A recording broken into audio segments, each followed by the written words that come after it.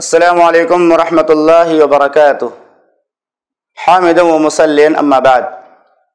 محترم و مکرم ناظرین و سامعین، آج کے درس کے لیے میں نے بہت ہی خوبصورت موضوع کا انتخاب کیا ہے، اور وہ ہے رمضان کے مہینے میں سحری کی دس برکتیں۔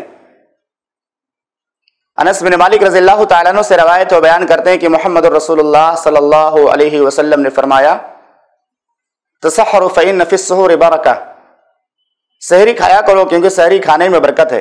اللہ کے نبی صلی اللہ علیہ وسلم نے فرمایا، سحری پوری کی پوری برکت ہے تو اسے چھوڑا نہ کرو۔ چاہے ایک گھونٹ پانی ہی پی لیا کرو۔ بے شک اللہ رب العالمین اور اس کے فرشتے، اللہ رب العالمین اپنی رحمتیں سحری کھانے والوں پر نازل فرماتا ہے اور فرشتے سحری کھانے والوں کے لیے دعائیں رحمت کرتے ہیں۔ سحری کھانے کی پہلی برکت یہ کہ اس سے اللہ تعالیٰ ہماری رزق میں برکت ادا فرماتا ہے۔ دوسری برکت یہ اس سے حاصل ہوتی ہے کہ جب ہم سحری کھاتے ہیں تو اس سے محمد الرسول اللہ صلی اللہ علیہ وسلم کی سنت کی پیروی ہوتی ہے۔ اور اللہ رب العالمین نے فرمایا اللہ و رسول فقط فاز فوز نظیمہ جو اللہ اس کے رسول کی پیروی کرے گا تو اس نے بڑی کامیابی حاصل کر لی۔ سحری کھانے کی تیسری برکت یہ ہے کہ اس کے ذریعہ جب ہم روزہ رکھتے ہیں سحری کھا کر کے تو روزے کی حالت میں ہمیں بہت زیادہ بھوک اور پیاس کی شدت محسوس نہیں ہوتی۔ سحری کھانے کی چوتھی برکت یہ ہے کہ جب ہم سحری کھا کر کے روزہ رکھتے ہیں تو پورا دن ہمیں اس کے ذریعہ طاقت اور قوت ملتی ہے۔ عبادت کرنے میں ہمیں اس سے مدد ملتی ہے۔ ہم زیادہ قرآن کی تلاوت کر سکتے ہیں، بہت زیادہ ذکر و اسکار کر سکتے ہیں۔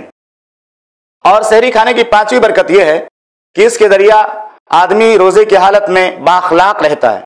اور جو آدمی سحری نہیں کھاتا بھوک اور پیاس کی شدت کی وجہ سے اس کے مزاج میں چڑچڑاپن پیدا ہو جاتا ہے۔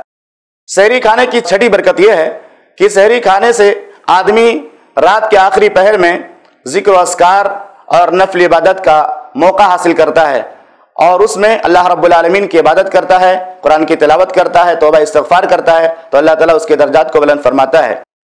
سحری کھانے کا ساتواں فائدہ یہ ہے کہ رات کے آخری پہر میں جب اللہ رب العالمین آسمان دنیا پہ نزول فرماتا ہے، اس وقت سحری کھاتا ہے، تو سحری کھانے کے بعد اس کو ایسے وقت میں دعا مانگنے کا موقع ملتا ہے، جس وقت کی دعا کو اللہ رب العالمین قبول کرتا ہے۔